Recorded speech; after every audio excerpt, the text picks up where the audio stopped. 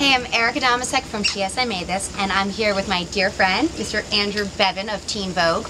And we came down to the lovely Four Seasons Resort on the Papagayo Peninsula in Guanacaste for the Growing Together program, which is an amazing outreach program which really connects with the local communities. And Andrew and I were just so fortunate and had the pleasure of joining this school where we crafted with fifth and sixth graders, bringing them smiles to their face, but really it brought so many more smiles to our face. So we got involved, we rolled our sleeves up, uh, spoke a little Spanish, and had a great time. Check it out.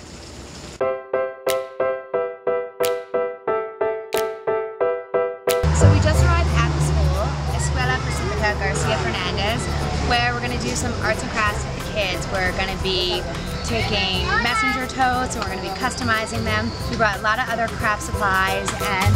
Hi! Hola!